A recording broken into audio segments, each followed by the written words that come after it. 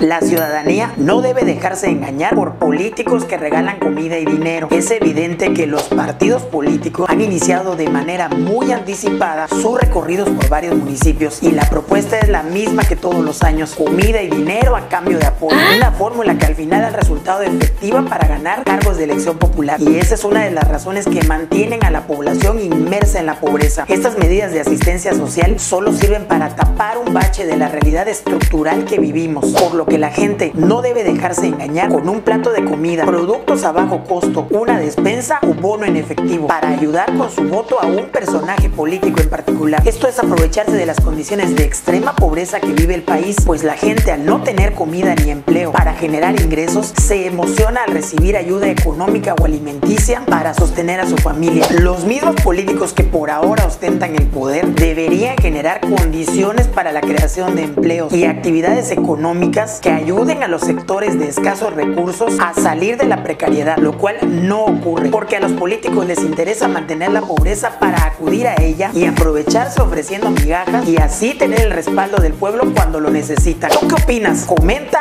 y comparte.